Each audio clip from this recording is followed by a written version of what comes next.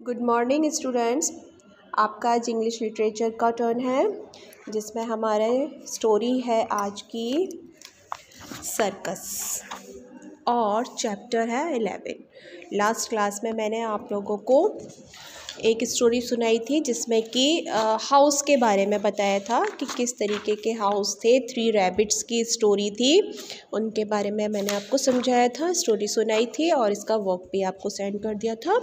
आज की हमारी स्टोरी है सर्कस के ऊपर और चैप्टर है एलेवन ओके तो अभी हम ये स्टार्ट करते हैं। आप लोगों को ये मैं पढ़ के सुनाती हूँ। सभी बच्चे मेरे संग में इसको सुनेंगे अच्छे से और समझेंगे।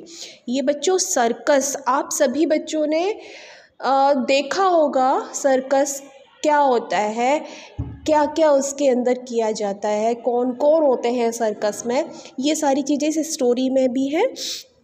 और आपके सामने ये पिक्चर बनी है, इसमें भी दिख रहा है, ठीक है? मैं आपको एक बार इसका शॉर्ट में बता देती हूँ क्या लिखा हुआ है।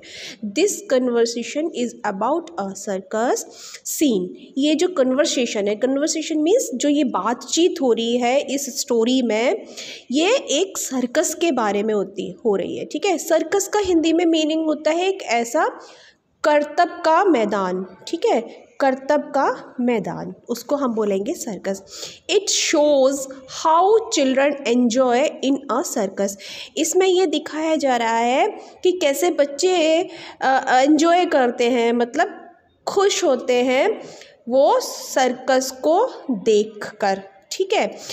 अब आगे इसमें क्या है स्टोरी में? वो हम अब पढ़ते हैं.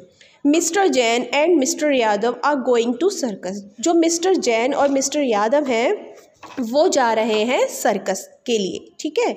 सर्कस देखने जा रहे हैं। They are with their children वो अपने बच्चों के साथ में हैं। दिस इज़ अ सर्कस अब बताया जा रहा है, ये एक सर्कस है। Mister Yadav and Akash are here अब यहाँ पर मिस्टर यादव और आकाश हैं। Mister Jain and Shaila are here too और मिस्टर जैन एंड शैला भी यहाँ पर हैं, कहाँ पर? सर्कस में। अब उन लोगों की क्या चल रही है? बातचीत चल रही है कन्वर्सेशन चल रहा है। वो कैसे चल रहा है? वो यहाँ पर अभी हम पढ़ रहे हैं।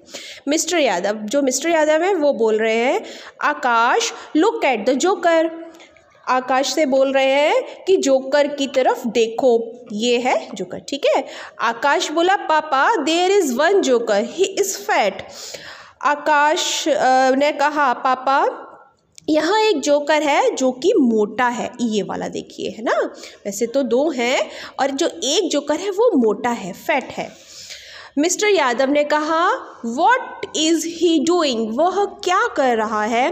तब आकाश बोलता है ही इज़ प्लेइंग ट्रिक्स वो चाल चल रहा है अपनी युक्तियों से, लोगों को हंसाने के लिए, ठीक है? He is making people laugh वो लोगों को हंसा रहा है अपनी अलग अलग हरकतों से, अपनी चाल दिखाकर, ठीक है?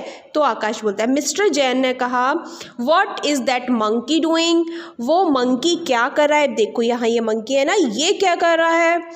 तब शैला बोली it is a small black monkey, it is riding on a bicycle. यह एक छोटा और काले रंग का मंकी है और ये बाइस्किल यानी कि जो साइकिल है, उसके ऊपर चला रहा है, वो चल रहा है, चला रहा है साइकिल को, ठीक है? मिस्टर यादव बोले कि Akash look at that man what is he doing उस मिस्टर यादव बोले, आकाश से, अपने बेटे से लुक एट द मैन अब उस आदमी को देखो कि वो क्या कर रहा है। आकाश ने कहा, पापा he is playing with a lion वह एक शेर के साथ खेल रहा है। तो मिस्टर जैन ने कहा what is that other man doing तो वो जो दूसरा आदमी है, वो क्या कर रहा है? तो वो बोला ये दूसरा आदमी ये था ना, ठीक है? दूसरा आदमी वो क्या कर रहा है? तो शैला बोली, पापा he is playing with an elephant पापा, वो एक एलिफेंट यानी हाथी के साथ खेल रहा है, ठीक है? फिर आगे क्या है? मिस्टर जैन ने पूछा after some time the tigers are about to come अब उसके कुछ समय बाद जो टाइगर चीते हैं, वो आए, ठीक है? Tiger jump through the ring of fire जो टाइगर्स थे, वो रिंग ऑफ़ फायर यानी आग का गोला होता है, उसको बोलते हैं हम रिंग ऑफ़ फायर उसमें से उन्होंने जंप किया। वो जो गोला होता है रिंग ऑफ़ फायर वो अंदर से बिल्कुल खाली होता है, उसके अंदर से वो जंप करते हैं, दूसरी तरफ़ निकलते हैं। तो वो टाइगर्स ने ऐसे जंप किया है। आकाश बोलता है let us have some popcorn and an ice cream तो जो आकाश था, वो बोलता है कि हम कुछ पॉपकॉर्न और आइसक्रीम खाते हैं। तो शैला बोली yes let's let's do that I feel hungry तो शैला ने कहा हाँ चलो ऐसा ही करते हैं। मुझे भी भूख लग रही है, मुझे भी भूख महसूस हो रही है, ठीक है?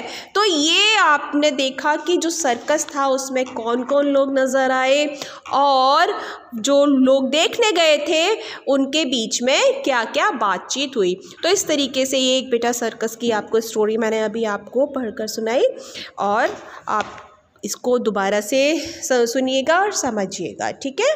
और जो चीज़ समझना है, आप मुझसे पूछिएगा। Thank you have a nice day